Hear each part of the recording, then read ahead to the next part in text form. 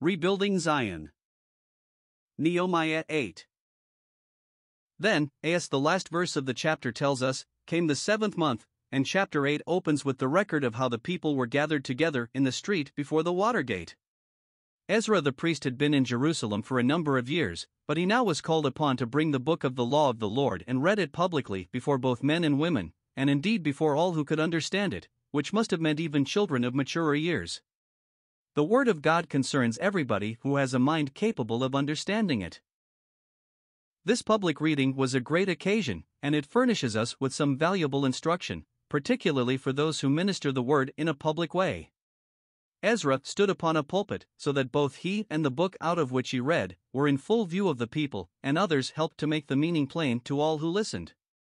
If any of our readers engage in the public preaching of the gospel or the ministry of the word to believers, we would ask them to read verse 8 and carefully note three words in it. In the first place, the book was read distinctly. What was written in the one precious book was clearly to reach the ears of the people, for they had no copies of it in their hands, which would enable them to check any mumbled or indistinct utterance.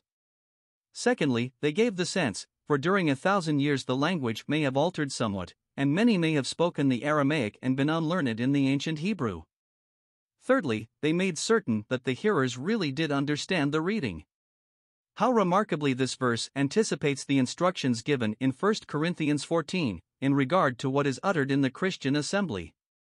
He who gives thanks, or praise, or ministers the word, is to make sure, not only that he himself really knows what he is saying, but that also he says it in such a way that it is understood, and therefore can be assimilated and endorsed by the saying of Amen by those who hear him. The speaker may say, I understood quite well what I wanted to convey. We, however, have to reply, Yes, but did you speak with sufficient distinctness and simplicity that your hearers got the sense and with clear understanding grasped your message? A reference to our understanding occurs eight times in 1 Corinthians 14 verses 9 to 20. The first effect upon the people of this reading is revealed in verse 9 the people were moved to tears, and well they might be, for no one can face the demands of God's holy law without a sense of condemnation entering the conscience. Both Nehemiah and Ezra, however, stilled the people and bade them rejoice, for in the book there were, of course, the promises of God, showing mercy and predicting the Messiah, and further the Feast of Tabernacles was at hand, which was intended to be a season of happiness. They were entitled, of course, to rejoice in all that God had wrought on their behalf in spite of all the efforts of their adversaries. But we have wondered whether this switching of the emotions of the people from conviction and sorrow to eating and drinking and making great mirth, because they had understood, was really of God. Conviction of conscience is not easily reached, and consequently repentance is shallow all too often, though it is true, of course, that the joy of the Lord imparts strength.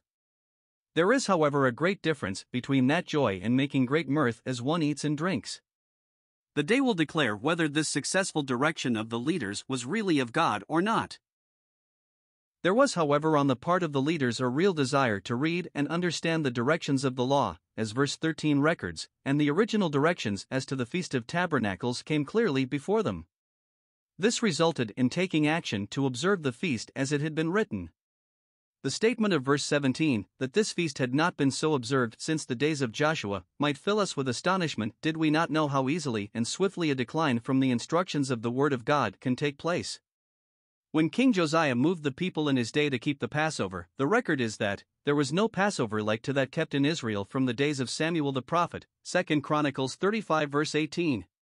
This was an earlier exhibition of the same tendency, though not quite so extreme a case. And what has taken place in the sad history of the professing church? We cannot, in this connection, throw stones at the people of Israel.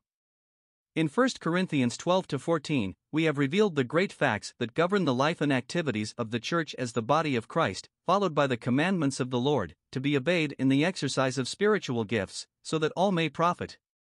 For how long were they remembered and obeyed? Not for long. Soon other arrangements were made, which led in the course of a few centuries to the fearful evils of the papacy, and what are called the Dark Ages. There was possibly some remembrance of the Word of God amongst the humble, unknown, persecuted saints, whom the popes branded as heretics, but that was all, as many centuries passed. So we are not surprised at what is recorded in verse 17 of our chapter. In the last verse of our chapter and the opening verses of Nehemiah 9, we see that this reading of the book of the law, which started when Ezra mounted the pulpit, did not end there. It continued through the seven days of the feast and even beyond. It lay at the root of such measure of revival as occurred at that time, and thus, we believe, it has always been. The revival that came to a head in the 16th century sprang largely from the fact that the scriptures had begun to be translated out of dead languages into languages that were alive, coupled with the invention of printing that enabled countless thousands to read them. And so it has been again and again since that time.